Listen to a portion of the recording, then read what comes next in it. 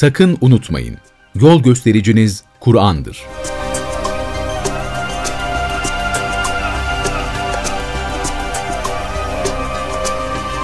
Bundan 1400 yıl önceydi. Arap Yarımadası'na sapkın bir din anlayışı hakimdi. Araplar geleneklerine körü körüne bağlıydı. Örneğin bir kız çocuk dünyaya geldiğinde kendilerine bir bela isabet ettiğini düşünürlerdi. Onu aşağılanmayı göze alarak büyütürlerdi. Daha geçerli olan uygulamaysa kız çocuğunu diri diri kuma gömerek öldürmekti. Bu sapkın anlayış Kur'an'da şöyle bildirilir.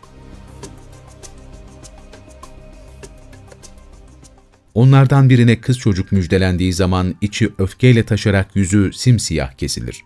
Kendisine verilen müjdenin kötülüğünden dolayı topluluktan gizlenir, onu aşağılanarak tutacak mı yoksa toprağa gömecek mi? Bak, verdikleri hüküm ne kötüdür. Nahl Suresi 58 ve 59. Ayetler Böylesine cahil fikir ve uygulamaların yaşandığı bir dönemde Allah Kur'an-ı Kerim'i indirdi. Kur'an'ın insanlara yol gösterici bir kitap olduğunu da bir Kur'an ayetinde şu şekilde açıkladı.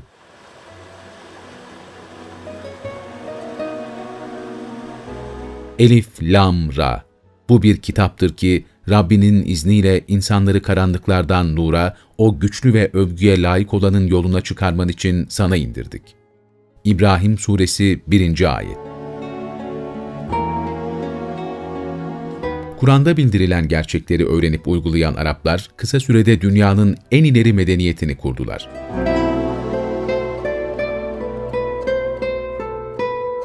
Bu medeniyetin temeli ise Allah'ın kitabı olan Kur'an-ı Kerim'di. Kur'an-ı Kerim geçmişte olduğu gibi şu anda ve gelecekte de insanlara doğru yolu gösteren, tarife uğramamış yegane ilahi kitaptır.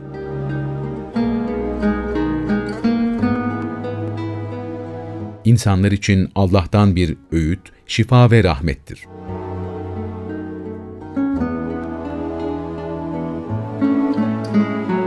Biz kitabı sana her şeyin açıklayıcısı, Müslümanlara bir hidayet, bir rahmet ve bir müjde olarak indirdik. Nahl Suresi 89. Ayet Bu önemli gerçeği kavrayabilen müminler, Kur'an'ın her ayetini derin derin düşünerek tüm hayatlarını ona uygun olarak yaşarlar.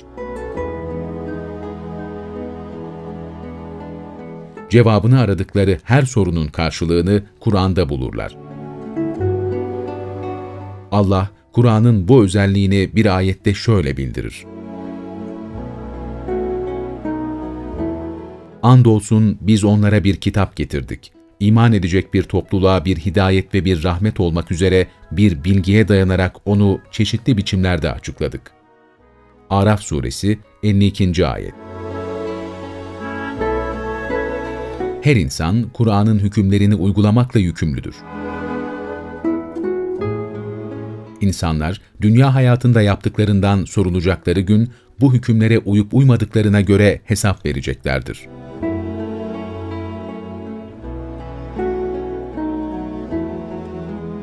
Şu halde sana vahyedilene sımsıkı tutun. Çünkü sen dosdoğru bir yol üzerindesin ve şüphesiz Kur'an senin ve kavmin için gerçekten bir zikirdir. Siz ondan sorulacaksınız. Zuhruf Suresi 43 ve 44. Ayetler